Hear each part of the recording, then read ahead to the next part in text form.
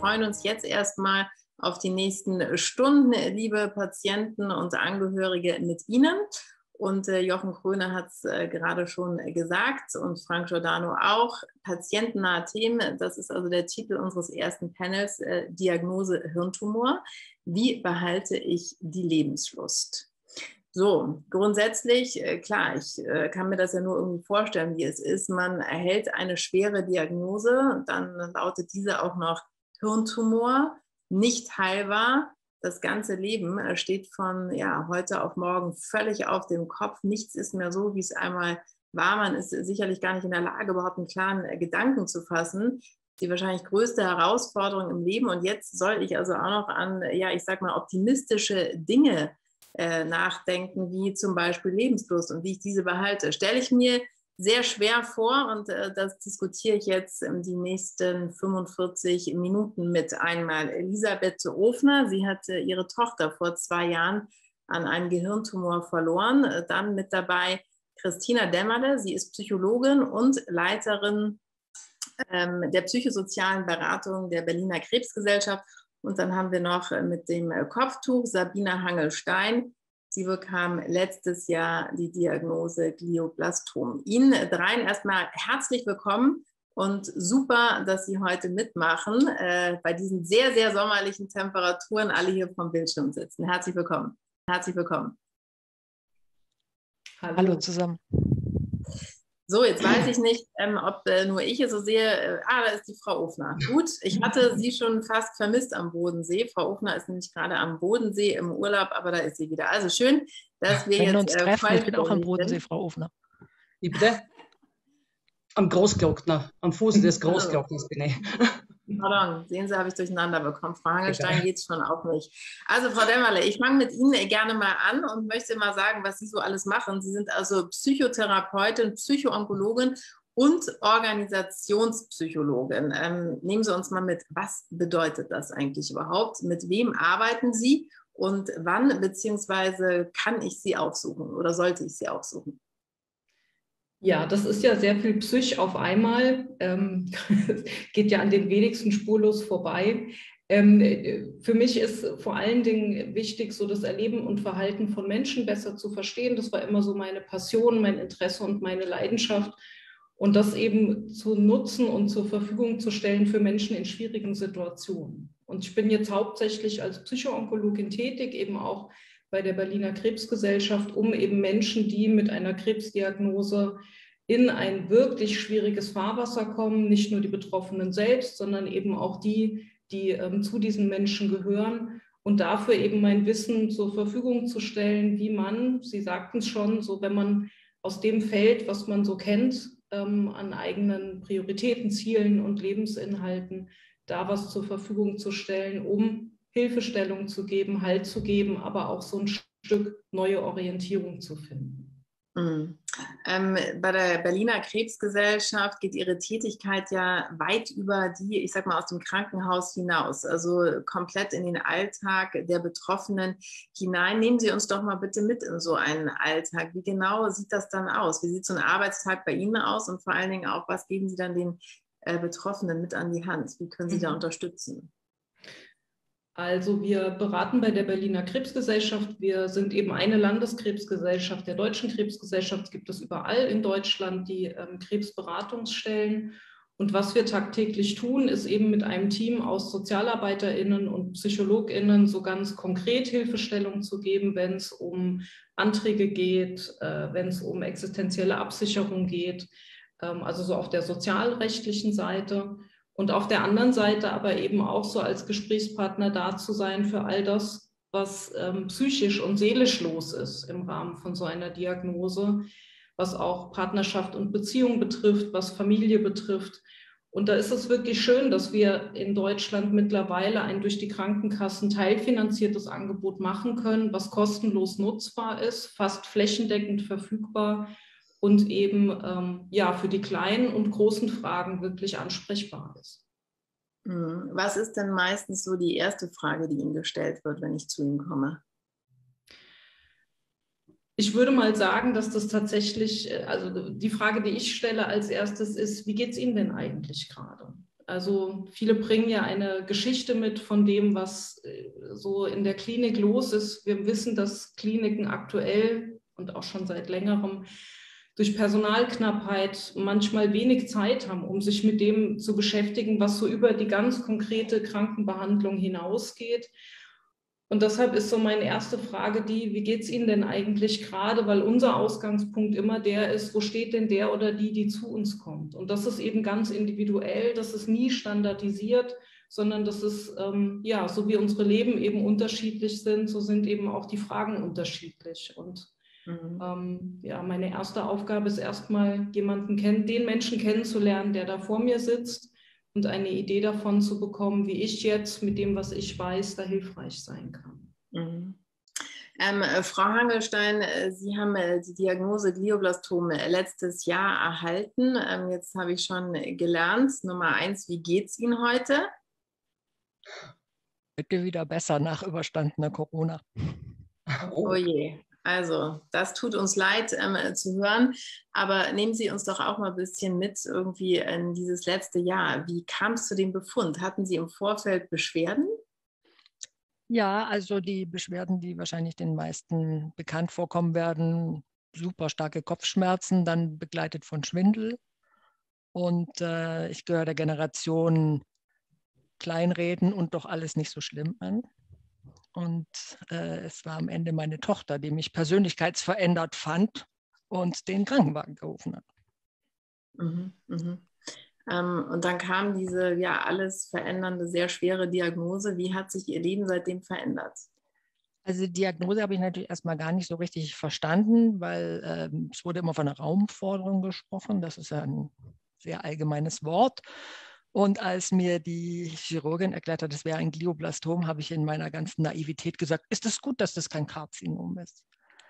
Darüber kann man heute natürlich ein bisschen lächeln, aber ja. ich habe den Begriff noch nie gehört. Und äh, war dann natürlich wie so viele andere erstmal auf mich selber und meine Recherchen angewiesen, um mich damit auseinanderzusetzen. Und dann einfach mal ein Dank an dieses Team, kam ziemlich zügig gemeinsam gegen Glioblastom. Und das hat mir wirklich sehr geholfen. Das ist, äh, das ist schön zu hören. Und ich höre da vor allen Dingen auch ganz deutlich wieder raus. Das Thema haben wir auch immer wieder, diese Arzt-Patienten-Kommunikation. Also, dass die andere Seite überhaupt mal versteht, äh, wovon da überhaupt äh, gesprochen wird, dass man überhaupt erstmal nachvollziehen kann, was das jetzt alles bedeutet. Frau Ofner, Sie sind Angehörige. Ähm, Ihre Tochter ist vor zwei Jahren gerade mal mit 23 Jahren an einem Hirnstammtumor ähm, verstorben. Äh, wie war das für Sie und Ihre Familie, als Sie von dieser ja, Diagnose erfahren haben? Äh, konnte man das überhaupt glauben? Ja, genau, das war zuerst Schock, weil wir sind eine gesunde Familie. Das hat überhaupt nicht man Krebs. Es war so, so, so unfassbar. Und, und andererseits, äh, ich weiß nicht, ob Sie das Sprichwort kennen, das Kind hat, hat einen Namen. Es waren ja vorangegangene Symptome äh, über ein halbes Jahr und wir wussten nicht, was los ist mit ihr. Das war auch bei ihr hauptsächlich Schwindel. Dann ähm, schon ein bisschen so verwaschene Sprache. Und ähm, ja, und dann bis sie zu diesem äh, MR-Befund gekommen ist, hat es urlange gedauert. Also sie ist wirklich von einem Arzt zum anderen. Und ja, dann, bumm, also die Diagnose hat eingeschlagen, dann mit der Blitz. Und es hat so quasi ihre ganze Lebensplanung über den Haufen geworfen. Natürlich also mal ihre, unsere natürlich auch, weil sie wollte studieren. Mhm. Und ähm, das ist, wir waren da irgendwie wie in so einem Spagat. Einerseits die, die Information natürlich, was ist das? Was machen wir jetzt?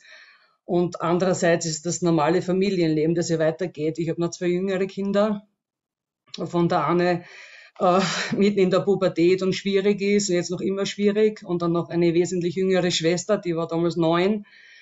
Und es war dann schon so ein Spagat irgendwo und ich mittendrin um mich zu organisieren. Nicht? Was mache ich jetzt? Ne? Ja, also für mich, allein wenn ich ihm zuhöre, habe ich Gänsehaut. Äh, mhm. Natürlich ein ganz äh, schlimmes äh, Schicksal, was ihre Tochter da ereilt hat, aber natürlich auch für Sie als Familie, auch als Mutter. Ich stelle mir das vor, Sie müssen den ganzen Laden da irgendwie zusammenhalten. Das meinte ich ja vorhin. In so einem Moment, wer denkt denn da an Lebenslust? Ich muss das nochmal sagen.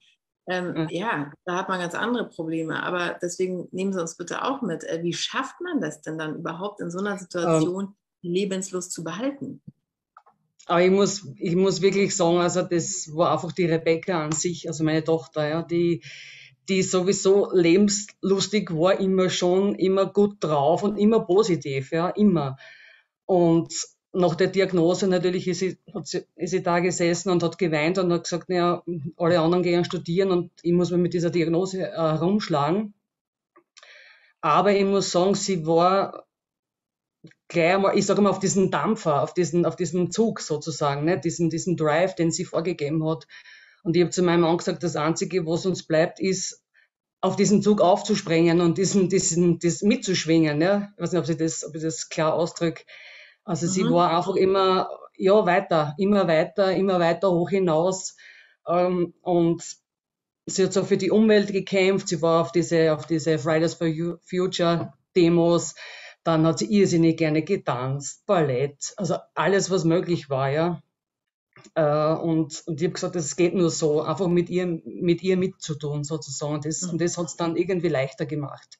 Mhm. Also genau. so hart sich anhört, so viel Normalität wie möglich eben ja. doch noch versuchen zu leben, soweit das genau. eben möglich ist. Meine nächste Frage geht an Sie beide, an Frau Ofner und an Frau Hangelstein.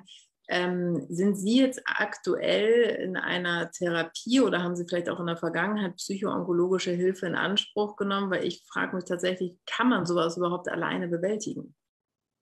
Ach, soll ich gleich als erstes, oder? Ja, bitte, fangen Sie doch an, Frau Ofner. Ähm, relativ zu Beginn ähm, ähm, war das möglich bei uns übers Krankenhaus, dass ich ähm, äh, psychologische Hilfe in Anspruch nehme. Aber das war irgendwie so nebenbei. Ich habe das da irgendwie angekreuzelt auf diesen Formalitäten und dann wurde ich gefragt, ja, ob, ob ich das möchte. Habe ich gesagt, na unbedingt. Da habe ich gesagt, besser jetzt sofort auf der Stelle. Also und ich habe das in Anspruch genommen und auch noch ein, ein ganzes Jahr nachdem die Rebecca schon gestorben war, habe ich mich begleiten lassen, eigentlich schon in größeren Abständen. Und ich habe das wirklich gebraucht. Und die Rebecca war bei diesem äh, Psychoonkologen, äh, ich glaube, ein bis zwei Mal war sie dort. Und das hat ihr einfach so geholfen, was, was der gesagt hat, weil sie hat irgendwie gesagt, sie, sie wollte mit ihren Freundinnen reden und, und denen das halt beibringen, was los ist.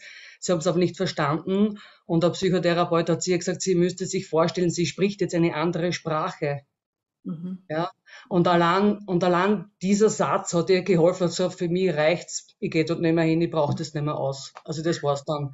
Einfach dieses, ja, das eine Satz, sie spricht eine andere Sprache und, ja, und das war's dann, ja. Aber ich habe es länger gebraucht, mein Mann wollte überhaupt nicht. Ja, wie gesagt. Und inwieweit, ich bin gleich bei Ihnen, Frau Hangelstein, ja. inwieweit hat Ihnen das geholfen, diese psychoonkologische Betreuung, Ihr Leben, Ihren Alltag wieder in den Griff zu bekommen, Frau Ofner? Mm. Ich weiß, ich habe mich regelrecht gefreut immer auf diese Stunde mit dem Psychotherapeuten, ehrlich gesagt. Weil das war so da, ja, weil, weil es kann ja niemand verstehen. Also das ganze Umfeld, also außer die engste Familie, aber weil wie, wie geht's ihr, nicht? Sie schaut ja eh gesund aus, hat ja jeder gesagt, nicht? Und ich habe das im Hinterkopf, nicht? Einerseits habe ich mir gedacht, äh, so quasi, ich gebe sie auf oder so. Natürlich war ein, ein Fünkchen Hoffnung ist ja immer da. Ich habe immer geglaubt an ein Wunder, ja. Das, das, das bleibt und das soll auch so sein. Das, das, ich will das nie jemandem absprechen. Das ist, glaube ich, ganz wichtig.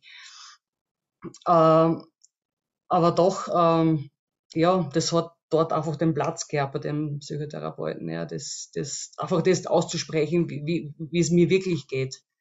Mhm. Weil ich, ich finde, das, das ist einfach zu, zu schrecklich alles. Das, das, da kann man nicht wirklich, wie gesagt, außer im engsten Familienverband ist das möglich, so ein Gespräch. Aber außerhalb, das ganz, ich finde es ganz schwer. Ja. Weil es niemand wahrhaben kann, nicht? Allein vom Alter her und, na, okay, das, das gibt's ja nicht und, und, und da gibt's ja sicher irgendwas, ihr müsst euch da schlau machen. Also es wird mir teilweise jetzt noch gesagt, äh, ich hätte ja nur auf Ärzte gehört und so, da wäre sicher was möglich gewesen. Also da muss man dann einfach Abstriche machen. Also ich ja, sicher schon Leute verloren durch das, weil man denkt, das, das tue ich mir ganz einfach nicht an. Das Nee, da muss man sich dann auf eine gesunde Art und Weise sicherlich abgrenzen. Ich höre daraus, dass Sie das anderen Patienten auf jeden Fall empfehlen würden, diese psychoonkologische Betreuung in Anspruch zu nehmen. Frau Hangelstein, äh, nehmen Sie uns mal mit. Wie war oder ist es bei Ihnen? Ja, gerne. Da gibt es jetzt eine zweigeteilte Antwort. Also ich fand die Angebote der Psychoonkologie proaktiv und auch sehr hilfreich. Also hilfreich nicht nur für mich, sondern mein Sohn und meine Tochter haben sich äh, im Zuge dieser Krankheit mal so gestritten, dass ich gedacht habe, wenn die jetzt ein Ehepaar wären, die würden sich jetzt scheiden. Und dann sind die gemeinsam zu der Psychoonkologin gegangen und das hat denen wirklich geholfen. Und darum bin ich natürlich unendlich dankbar für solche niedrigschwelligen äh, Angebote. Ich selber bin bis heute in einer Verhaltenstherapie, freue mich auch immer auf die Gespräche, äh, kann mit der Psychotherapeutin da auch so einiges äh, abfedern, was man sonst vielleicht, äh, und da bin ich ganz bei Frau Ofner, mit der Familie versuchen würde zu teilen, die das aber vielleicht auch gar nicht verstehen, weil ich ja auch ein mhm. bisschen eine andere Sprache spreche. Ähm, das funktioniert gut. Was nicht gut funktioniert, und äh, ich weiß nicht, ob wir mal ganz kurz mein Bild 1 einblenden können, ist äh, medikamentöses. Also ich bin diese Frau da im Keller und über mir ist mein altes Leben. So viel zur Erhaltung der Lebenslust. Mhm. Und äh, wenn wir mal mein Bild 2 kurz einblenden, dann sieht man, dass oben auf dem Dach medikamentöse äh, Hilfe gelandet ist. Die psychoonkologische gehört also nicht unbedingt aufs Dach. Ich fand die niedrigschwellig, aber äh, ich finde, es ist für äh, Menschen mit einem Glioblastom eine gute Möglichkeit, sich auch medikamentös unterstützen zu lassen mit Stimmungsaufhellern. Und wenn man dann da in diesem Keller sitzt und hört, ja, da braucht man jetzt noch eine Psychologin und äh, ähm, eine Psychiaterin, Entschuldigung, und sie verstehen selber überhaupt nicht, warum. Und es soll ja auch mit den Neuroonkologen dann noch abgesprochen werden, welches Medikament und so. Das fand ich wahnsinnig hochgehängt. Und mir mhm. persönlich hat das total geholfen, nehmen also ein mhm. stimmungsaufhellendes Mittel.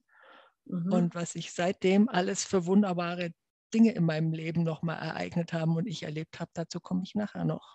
Aber ja, auf jeden Fall, wir plaudern noch ein bisschen. Ich finde das äh, ganz wichtig, dass Sie das auch mal ansprechen, dass man sich da auch tatsächlich äh, medikamentös äh, Hilfe holen kann und das dann auch sollte. Frau Dämmerler, wie wichtig ist die psychische Gesundheit nach einer so ja, schwerwiegenden Diagnose wie Hirntumor, wie Glioblastom? Ja, ich sage äh, da erstmal vielen Dank für die ähm, Expertinnen so aus der betroffenen Perspektive. Ich glaube, ähm, an den Beispielen ist es sehr deutlich geworden, worum es geht und dass es aber immer ein Ringen ist, ein Ringen darum, nicht nur körperlich in guter Verfassung zu sein, sondern eben ein gleichermaßen Ringen, psychisch und seelisch das zu verarbeiten, was eigentlich da gerade mit einem passiert. Und ähm, ich finde, Frau Offner, was Sie von Ihrer Tochter berichten, ist ja wirklich was ganz Beeindruckendes, was ihr da gelungen ist, in ihren jungen Jahren so den Fokus auf das Positive zu lenken. Und dennoch ist eben, so wie Frau Hangelstein auch sagt, ist mentale Gesundheit ja nicht immer gut drauf sein. Also das kann Menschen gelingen, das kann äh, eine Gabe sein oder auch ein persönlicher Stil. Aber mentale und psychische Gesundheit äh, bedeutet nicht immer gut drauf sein, das bedeutet auch nicht immer positiv denken, sondern das bedeutet eben flexibel mit dem umgehen zu können, was gerade da ist. Und Frau Offner hat es ja auch von ihrer Tochter berichtet, die dann erstmal auch geweint hat, die auch an den Stellen, wo sie sagt, hier komme ich nicht weiter, sich Unterstützung gesucht hat, dann damit auch wieder so ein Stück Weg weitergegangen ist. Und das ist so das Erleben aus meiner alltäglichen Praxis, dass es eben darum geht zu schauen, die Menschen bringen alle Ressourcen mit, die bringen vieles mit, äh, lösen viele Dinge alleine. Dafür sind wir Menschen ja auch ausgelegt, auch schwierige Situationen zu bewältigen.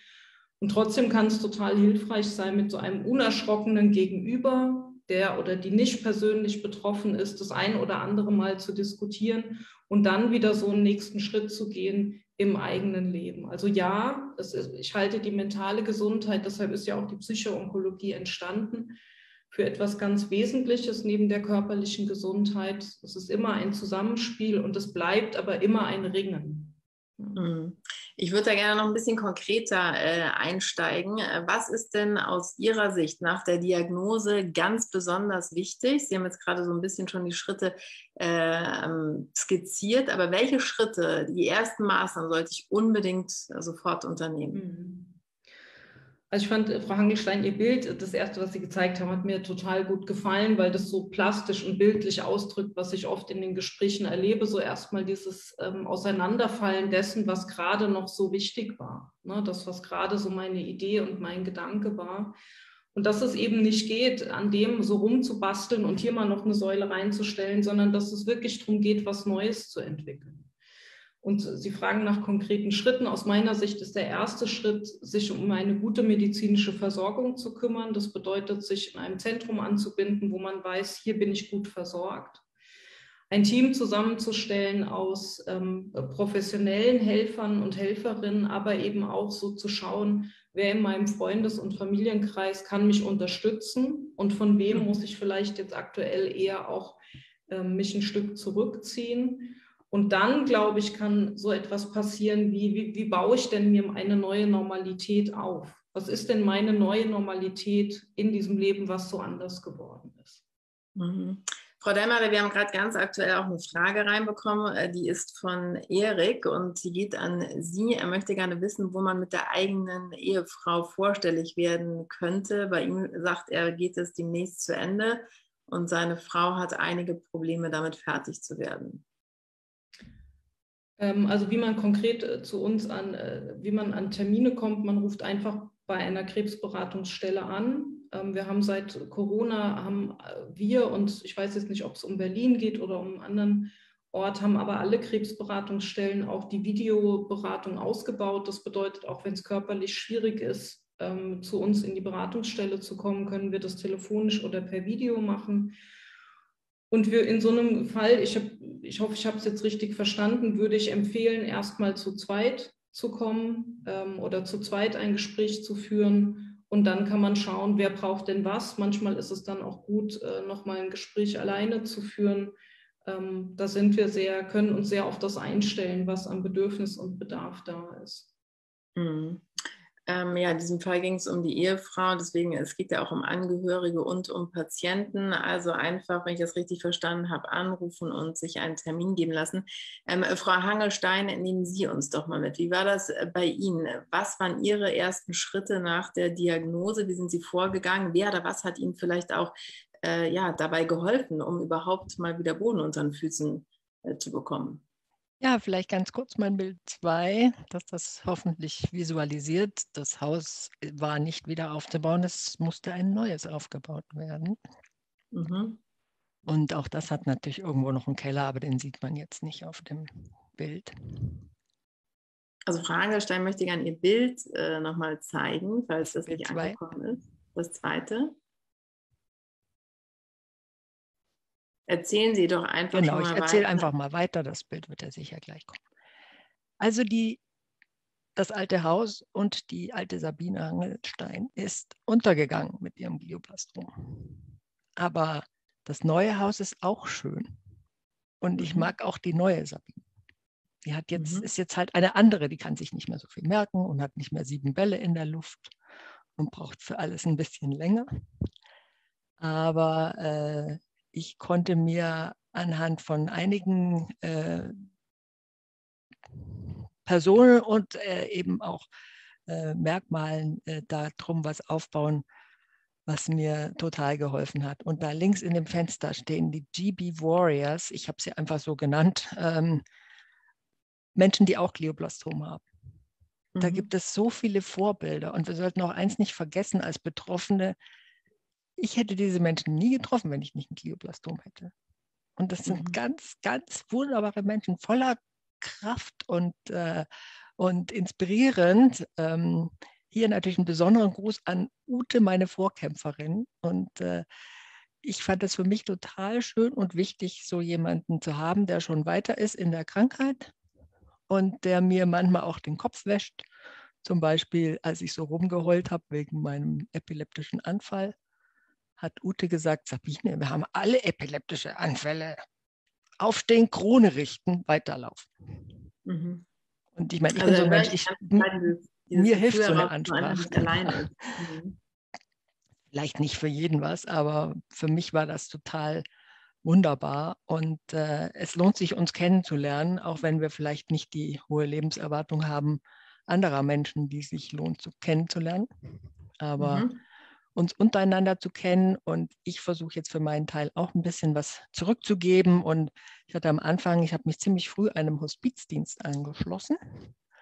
Und am Anfang habe ich mich mit meinem Hospizbegleiter überlegt, wir könnten ja dann mal so ein bisschen helfen in Bezug auf Pflege und Rente und so, nachdem wir uns durch diesen Wahnsinn gearbeitet haben.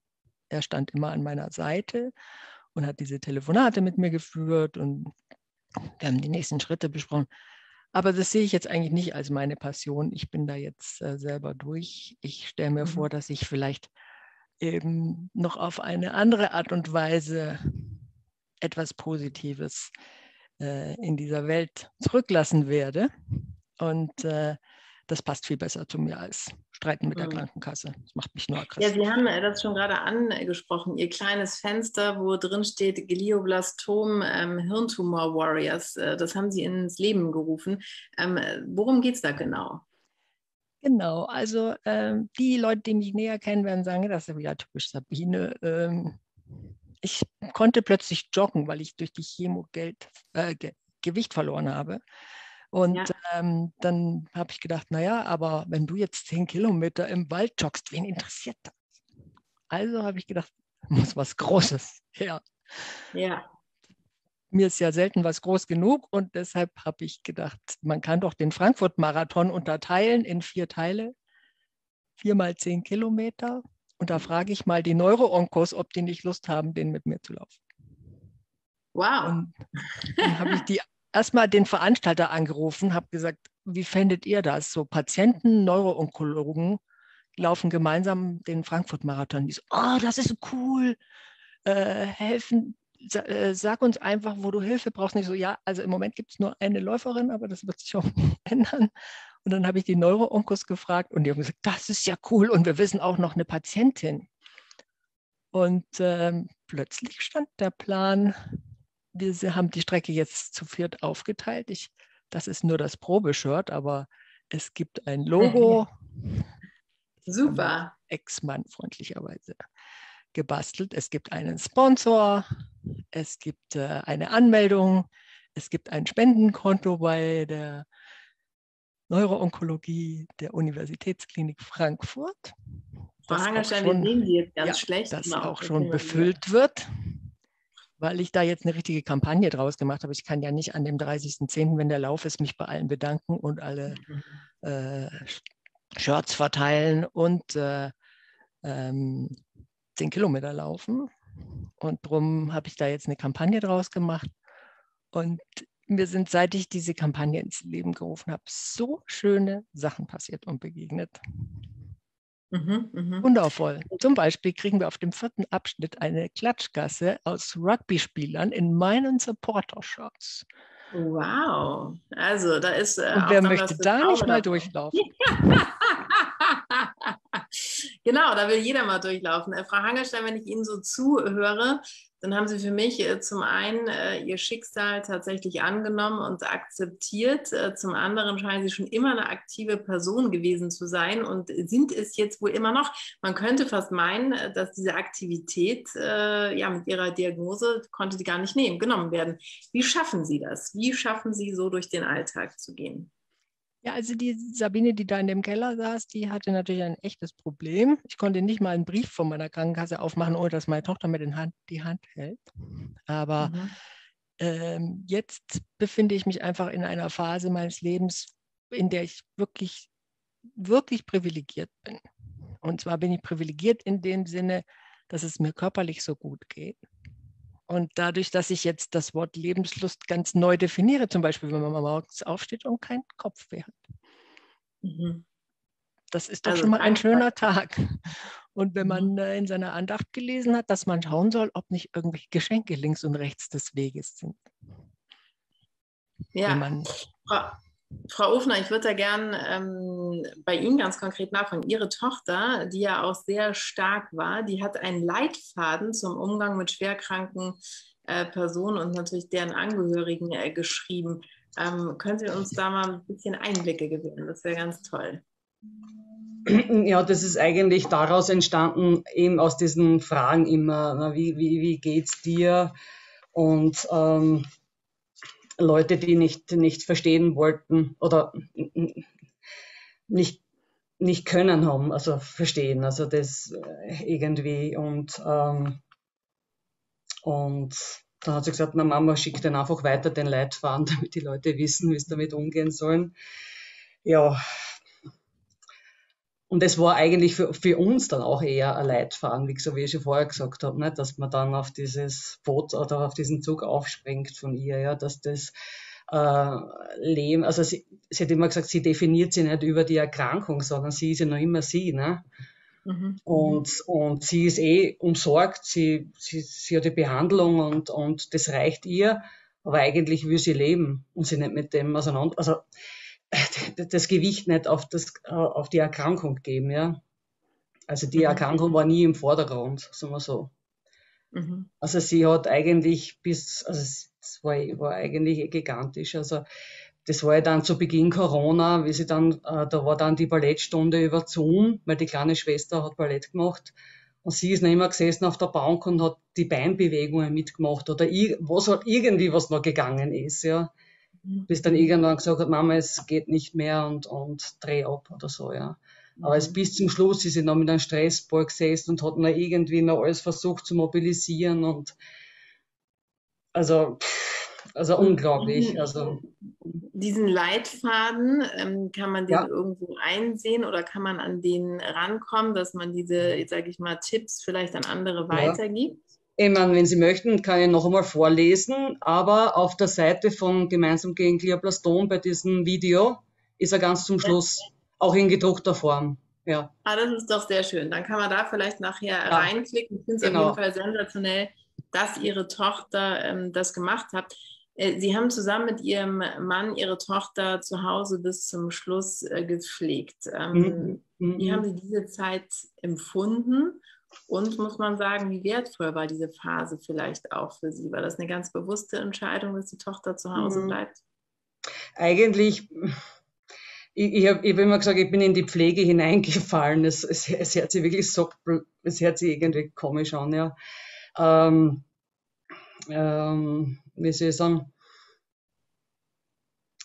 also sie wollte unbedingt, also sie wollte zu Hause sein natürlich und ich habe gesagt, so lang, so, so, so wie es für mich machbar ist, also äh, wird es möglich sein, aber ich hätte keinen Grund, keinen Grund gesehen, äh, sie in ein Spital zu geben oder so. Das, das, weil sie einfach so eigentlich nichts gebraucht hat. Das war für mich, ja. Also mein Mann war im Homeoffice zuerst und ich war freigespielt von der Arbeit. Und eines Tages habe ich halt an die Tür geklopft, sage Herr Ofner, bitte geh in den Krankenstand, so da muss man helfen. Und da haben wir dann, schon den Rollstuhl gebraucht, damit er mir einfach, der hat immer gesagt, bitte sag mir, was ich tun soll, weil er war so unbeholfen und, und so quasi, das war für mich eine neue Erfahrung, also dass ich quasi das Ruder in der Hand habe und alles, alles mir angeschaut, was machen wir jetzt, was ist los, was, was, was, was tun wir als nächstes, ne? Mhm. Und, mhm. und zum Schluss hin, also, also das so, so, es ist halt einfach jeden Tag einfach wahnsinnig viel schlechter geworden. Also es, es hat auch nicht viel, viel zum Überlegen gegeben, ja. Mhm. Ja. Mhm. Also auch mit den mhm. Behelfsmitteln. Also wichtig habe ich halt ganz wichtig gefunden zum Schluss, also den Wahlarzt, den ich mir organisiert habe. Also dass der war für mich dann telefonisch erreichbar. Das war für mich ganz wichtig. Der ist natürlich einmal gekommen, hat sich den Stand der Dinge angeschaut und, und mir war das einfach wichtig, dass wenn was ist, dass ich wem erreichen kann. Mhm. Und ich habe es eigentlich nicht gebraucht, muss ich sagen. Ja. Mhm. ja. Frau Ofner, wie sieht denn äh, Ihr Leben heute aus? Es geht ja auch um das Thema Lebenslust. Woraus schöpfen Sie mhm. Kraft? Ähm, wie ist überhaupt Ihre Lebenslust zurückgekommen? Weil Sie haben ja Unglaubliches geleistet da in diesem letzten Jahr. Das äh, kann häufig ein Mensch allein gar nicht bewältigen. also ich halte mich wirklich so an das, ich weiß nicht, ob Sie das Lied hochkennen von Tim Bensko, das war für, mein, für meine Tochter war das Lied einfach der Hit und sie hat das auch bis zum Schluss das Video eingeschalten und hat so mit die Hände so herumgewackelt und da war ihm auch so ein Part, immer weiter hoch hinaus, auch wenn wir schon weit gekommen sind, immer weiter hoch hinaus. Und das, ne, das nehme ich mir eigentlich als Leitfaden jetzt für meinen persönlichen, ja. Also nicht um mich jammern, einfach weitermachen, einfach trotzdem weitermachen, ja.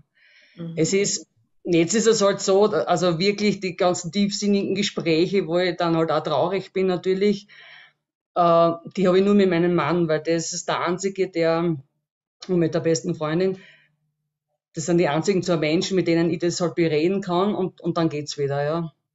Aber grundsätzlich, ähm, meine jüngste Tochter natürlich ist die eine, die immer weiter treibt, weil die war immer, die war ja auch dabei sozusagen, weil die Rebecca hat im Wohnzimmer so ein Bett gehabt und sie war eigentlich immer im Geschehen, im Mittelpunkt. Also wenn gekocht worden ist, gespielt. Und, und sie gibt mir auch äh, sehr viel Kraft, muss ich sagen. Ja. Mhm. Und das einfach das, das, das Weitermachen, ja. Mhm. Frau Hangelstein hatte sich gerade ganz artig gemeldet. Ja, weil ich einfach das, was Elisabeth äh, erzählt hat, dass Rebecca gesagt hat, einen wichtigen Punkt finde, den ich gerne vielleicht allen da draußen mitgeben dürfte, möchte. Dieses, es gibt ja diese beiden Gassenhauer, I will survive, aber I am what I am. Das ist eigentlich der Song. Und zudem habe ich heute schon getanzt, lief in Radio Vorarlberg äh, weil ich gedacht habe, I am what I am. Es ist total wichtig, jetzt für mich zu akzeptieren oder wie Rebecca das eben auch gemacht, zu sagen, das bin jetzt eben ich. Mhm. Ähm, Frau Dämmerle, mentale Gesundheit rückt äh, sowieso immer mehr in die öffentliche Wahrnehmung. Ähm, wie sehen Sie das bei der Entwicklung äh, hinsichtlich Psychoonkologie? Ist das da genauso? Ich glaube, für die Psychoonkologie war es ja schon immer Dreh- und Angelpunkt, sich eben um die psychische Stabilität, mentale Gesundheit, wie auch immer man es nennen will, zu kümmern und dafür so auch äh, die Fahne hochzuhalten. Also neben dem ganzen körperlichen, die Medizin ist oft sehr, braucht viel Zeit. Ähm, viele Betroffene berichten, sehr, sehr viele Termine zu haben. Ähm, sich äh, so um den Körper zu kümmern, ist äh, ganz schön aufwendige Arbeit, auch während einer Krebserkrankung. Und ich glaube, dass die Psychoonkologie ein Angebot machen kann, ebenso, dass ähm, ja, sich auch um die Seele, um die Psyche, um das, was eben zu verarbeiten ist, eben auch einen Raum zu schaffen, Zeit zu schaffen, um sich das auch anzuschauen und daraus vielleicht gestärkt auch rauszugehen. Ich glaube, dass unser Kurse- und Gruppenangebot beispielsweise so ein Angebot ist, um auch mit Achtsamkeit, Yoga, mit äh, Entspannungsübungen sich auch dem, äh, ja, darauf zu achten, so wie gehe ich denn auch durch diese Phase so durch. Und äh, wir mhm. haben jetzt zwei Beispiele von Betroffenen, denen das wahnsinnig, ja, mit sehr viel Kraft ähm, gelungen ist, da auch ähm, gute Wege zu finden. Aber natürlich, und das ist mir auch wichtig zu sagen, ist das nicht für jeden und in jeder Situation so, ähm, wenn auch andere Probleme, Herausforderungen das Leben vielleicht noch schwieriger machen. Und ähm, ja, es ist auf jeden Fall ähm, äh, die Zeit wert und ich kann das nur unterstützen und empfehlen, sich dann eben auch Hilfestellungen zu suchen. Und man muss dafür nicht psychisch krank, psychisch gestört, psychisch auffällig sein, sondern ähm, Psychoonkologie setzt genau da an, wo die Belastung ist. Und Sie brauchen dafür gar kein, können auch ohne Probleme erstmal zu uns kommen ähm, und sagen, ich will mich mal beraten lassen, ich will mal schauen, ich will äh, eine Idee davon kriegen, wie ich das eben auch integrieren kann. Mhm. Bei allem, äh, ich sag mal, Lebenswillen und ich muss weitermachen und wie komme ich auch wieder zurück zu meiner Lebenslust. Äh, Frau Dämmerle, wie wichtig ist es in so einer Situation auch über den Tod zu sprechen? Ähm, auch das kann ich äh, nicht standardisiert beantworten, sondern äh, muss individuell betrachtet zu werden. Ähm, ich halte es, äh, oder aus meiner Erfahrung ist es für viele wahnsinnig erleichternd, das mal mit jemandem auszusprechen und über die Ängste, die das Sterben und den Tod angehen, sich mit jemand auszutauschen, der eben nicht erschrocken sofort, wie Frau Offner das ja auch sagte, sagt, ach, jetzt hör auf, ne, das wird schon und du musst positiv denken und jetzt äh, red mal nicht sowas, sondern der einfach da ist und zuhört und sagt, das kann ich aber tatsächlich, ich kann das gut verstehen. Ja, also ich kann das nachvollziehen und sich mit dem wirklich mal hinzuwenden, was diese Angst vor dem Tod und von dem Sterben auch ausmacht. Mhm. Und auf der anderen Seite gibt es Menschen, die wissen auch, dass vielleicht äh, ihr Leben bedroht ist äh, und dass das die Lebenserwartung vielleicht verkürzt ist, müssen da aber nicht immer hinschauen um das, was sie nämlich haben, das Leben, was heute da ist und morgen da ist, genießen zu können. Also ich würde sagen, es ist unterschiedlich. Äh, für viele ist es aber eher eine Entlastung, das auch mal zum Thema machen zu können. Mhm. Frau Hangelstein, wie ist das bei Ihnen? Ähm, haben Sie schon über den Tod gesprochen mit jemandem? Ja, also die Sabine im Keller hat ähm, Kontakt zum, zu einem Hospizdienst aufgenommen und das hat mir total geholfen. Also nicht nur diese Hospizbegleitung jetzt durch die alltäglichen ähm, Tätigkeiten, sondern auch ähm, in Bezug auf eine Seelsorgerin, die mir da in so einer Art Early Integration zur Seite steht, mit der ich auch über theologische Themen sprechen kann. Denn äh, mhm. wieso viele Menschen in einer Notlage habe gerade ich auch zum Glauben zurückgefunden, in dem Fall katholisch, das ist auch nicht leicht. Aber ich bin eben auch so sozialisiert, und mir hat das total gut getan. Mal abgesehen davon, dass ich davor mein Testament und alles gemacht habe und alle Ordner ausgemistet und so, aber das war sehr belastend. Mhm. Mhm. Diese Gespräche mit der Seelsorgerin tun mir sehr gut. Mhm. Also, Frau Ochner, wie war das bei Ihrer Tochter? Wollte Ihre Tochter über den Tod sprechen? Einmal kann ich mich erinnern, habe ich sie gefragt, ähm, ob sie Angst hat vor dem Sterben und so. Und sie hat gelacht und hat gesagt, na soll ich? ah, sie war so lustig. Und also ihr war ganz wichtig, ich weiß nicht, ob, das, ob ich das so an dieser Stelle so sagen kann, ähm, über die Beerdigung an sich, ja. Also wir haben dann später gefunden, man, sie, hat, sie hat uns gesagt, sie hat eine Playlist gehabt fürs Begräbnis. Und ihr Wunsch war, äh, dass sie, dass ihr Sarg gezogen wird von Pferden, weil sie war ja ausgebildete Pferdewirtin. Mhm. Und sie hat gesagt, na, am liebsten wären ihr diese, diese, diese Ratten, also schwarze Ratten. Und, ähm, und ich, ich konnte ihr es noch sagen, aber ich gesagt, du, das schaut gut aus, das wird was. und das war dann wirklich so, dass sie wirklich gezogen worden ist von zwei schwarzen Pferden. Und das war für mich dann auch, dass ich, dass ich ihr den Wunsch praktisch ermöglicht habe, ja. ja. Und ja, es war ja, war ja schon wichtig. Es war ja zum Beispiel auch, was das hört sich so arg an, aber auch, also, wo sie begraben wird, weil wir sind ja noch eine relativ junge Familie. Wir haben uns da außerhalb von meinem Heimatort äh, niedergesettelt, sage ich jetzt mal, es hat kein Grab nicht gegeben und also sie hat sich das ausgesucht in einem Waldfriedhof, eine Stelle und hat gesagt, Mama, da gefällt es mir, hat sie gesagt. Mhm. Das, und das ist es halt da. Und jedes Mal, wenn ich dorthin gehe, und diese Waldidylle und, und über ihr Grab legt sich so eine Eibe mit, mit den Ästen und, und die Eichkätzchen hüpfen herum und holen sich die Nüsse und das Vogelgezwitscher. Und das war also so in ihrem Interesse und ist einfach ein schöner Ort, wo ich gern hingehe und an sie denke und, und ja, wir haben auch schon Geburtstag gefeiert, dort ihren 25. mit, mit ihren Kuchen und mit ihrem Lieblingslied, das haben wir gesessen.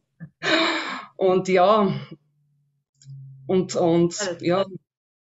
Das ist eine äh, schöne Geschichte, so traurig es ist, aber die Sie da erzählen, dass Sie einen Ort gefunden haben, den die eigene Tochter ausgesucht wo Sie auch gerne mhm. hingehen.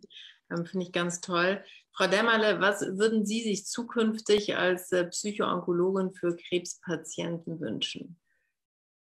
Ja, also neben allem, was wir so inhaltlich besprochen haben, beantworte ich die Frage mal strukturell, also auch bei allem, was so in den letzten Jahren gelungen ist an besserer Versorgung, auch psychoonkologischer Versorgung von Betroffenen, würde ich mir wünschen, dass es bessere Versorgungskonzepte gibt für die Behandlung zwischen dem stationären und dem ambulanten Setting, dass ähm, Betroffene mehr Hilfestellung bekommen, mehr Orientierung und sich weniger um Organisation und Administration kümmern müssen. Meine Erfahrung ist, dass es ein wirklich großen Anteil der Kraft und Energie in Anspruch nimmt, sich allein darum zu kümmern, ähm, Behandlungen zu bekommen. Und das liegt nicht an den behandelnden Ärztinnen und Ärzten, gar nicht, sondern es liegt tatsächlich, es sind strukturelle Themen. Und da wünschte ich mir eine größere Öffnung äh, des Sektors zwischen stationär und ambulant.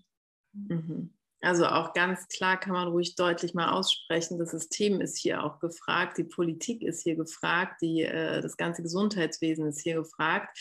Ähm, das kann man gar nicht oft genug ähm, betonen. Äh, abschließend äh, würde ich Sie alle gerne nochmal fragen, weil es ist äh, eingangs, wie ich das gesagt habe, eine Veranstaltung für Sie, für Patienten und ihre Angehörigen. Und jetzt haben Sie natürlich die Chance, ähm, unseren Zuschauern nochmal was mit auf den Weg zu geben als Fazit. Das finde ich immer ganz schön. Ähm, ja, zum Thema Lebenslust. Was ist das Wichtigste, dass ich diese erhalten oder eventuell auch zurückerlangen kann? Was sind Ihre Top 3 Tipps? Wir fangen an mit Frau Hangelstein. Also, äh, die meisten habe ich ja schon gesagt, darum ist immer gut, wenn man wiederholt, dann bleibt es auch hängen. Genau. Ähm, sich zu vernetzen mit Menschen, die in diesem Prozess schon weiter sind. Es lohnt sich, uns kennenzulernen. Und äh, dann diese leichtere Zugänglichkeit von medikamentöser Unterstützung. Das wäre für mich eben auch sowas, wo das System ein bisschen krankt, dass man plötzlich sagt, ja, aber da muss jetzt dann äh, eine Psychiaterin her. Ich kenne aber keine Psychiaterin. Ähm, und äh, das, das Dritte ist, dass äh, es gewisse Abwärtsspiralen gibt, kann sich auch eine Aufwärtsspirale in Gang setzen. Und ich fand schon, dass mit zunehmendem psychischen Wohlbefinden auch physisch sich mehr ergeben hat und äh, mehr ähm, Aktivität da war. Und das könnte sich dann auch wieder auf die Psyche auswirken. Also Physis und Psyche können auch Hand in Hand gehen. Und drum nochmal den kleinen Hinweis, wer Lust hat, in seiner Stadt auch so ein, so ein Hirntumor Warriors Marathon zu organisieren, mhm. gerne über gemeinsam gegen Glioblastom an mich wenden. Ich äh, habe schon ganz viel vorbereitet. Es gibt tolle Flyer, es gibt ein Logo, es gibt Supporter-Shirts, äh, Runner-Trikots. Es gibt ich habe einen Rugby-Spieler. Also, es gibt ne? in jeder Stadt einen Rugby-Club. Also München wäre so die nächste Idee übrigens, weil da spielt mein Sohn, der alte ja. Überläufer aus Frankfurt. Und äh, es gibt eben auch diesen Sponsor, den ich gefunden habe, der mir das alles freundlicherweise finanziell unterstützt. Ich glaube, die sind deutschlandweit. Und wenn ich die frage, würden die das vielleicht in einer anderen Stadt auch sponsoren? Ja, und mein Spendenziel ist 50.000 Euro. Kleiner Super. ist nicht so mein Ding. Mal schauen, ob ich es schaffe. Ich äh, bin mir ganz sicher. Ähm, äh, Frau Ofner, was sind Ihre Tipps, die Sie noch mal gerne mit auf den Weg geben würden? Ähm, trotz der schlimmen Diagnose ähm, äh, sich nicht einschüchtern lassen und weitermachen. Ähm, ganz wichtig, also zu definieren, wen hole ich ins Boot. Also wirklich, wer, wer gibt mir Ressourcen, wer gibt mir Kraft. Dann zu Beginn der Diagnose eben diese äh, rechtlichen Dinge auch klären äh, mit Patientenverfügung, das Ganze drumherum, um sich dann wieder dem Leben zu widmen, sage ich jetzt einmal. Und ähm, ich finde einfach, der Betroffene hat das Sagen, dass man einfach mitschwingt. Weil ich finde, das ist das Einzige, was man, was man halt noch geben kann. Ja, das, und sich auf, ich finde, dass der Betroffene ist einfach der König, die Königin, die hat das Sagen und genau. Und alles, und alles machen, was möglich ist. Ja. Frau Dämmerle, Sie haben das Schlusswort. Ja, zu dem Schlusswort gehört auf jeden Fall ein vielen Dank an das, was ich heute hier auch erfahren durfte. Ähm, Dankeschön. Und ich würde nur ergänzen zu dem, was gesagt wurde, dass aus meiner Sicht so der wichtigste Punkt ist, sich die Erlaubnis zu geben, alle Gefühle zu fühlen, die eben da sind. So keine Angst auch vor großen Gefühlen, und so die Bereitschaft und äh, den Mut auch, sich Gesprächspartnerinnen und Gesprächspartner zu suchen, die sich unerschrocken auch mit ins schwierige Gelände wagen ähm, und da so den eigenen Weg zu finden, gerne auch mit Unterstützung und immer so Schritt für Schritt zu schauen, wie kann ich denn heute diesen Tag, wo in meinem Körper ja vielleicht auch vieles gesund ist, neben dem, was vielleicht auch eingeschränkt ist, wie kann ich denn diesen Tag äh, für mich gut nutzen. Und das kann auch mal ein Tag sein unter der Bettdecke, das kann auch mal ein Tag sein, wo eben gar nichts geht und am nächsten Tag geht vielleicht wieder ein bisschen mehr. Das äh, ja. Frau Lemmerle, wir haben äh, zum Schluss noch eine sehr schöne Frage reinbekommen. Ich verstehe sie tatsächlich eher rhetorisch, denn ich denke, Sie werden Ja sagen. Und zwar Christine Rieken schreibt uns, liebe Frau Dämmerle, ich möchte in München eine Selbsthilfegruppe gründen. Darf ich auf Sie zukommen? Gerne, ja. Also ich, genau, gerne. Ich sage einfach ja. ja. Super. Ich äh, würde mich an dieser Stelle auch bei Ihnen äh, bedanken, äh, Frau Hangelstein und Frau Ofner, dass Sie ja so offen Ihre Geschichte, Ihr Schicksal mit uns geteilt haben, dass Sie uns auch so viel an die Hand gegeben haben. Frau Dämmerle, bei Ihnen das Ganze natürlich aus Expertensicht. Also das war ein ganz tolles und informatives und sehr hilfreiches Auftakt-Panel. Vielen herzlichen Dank.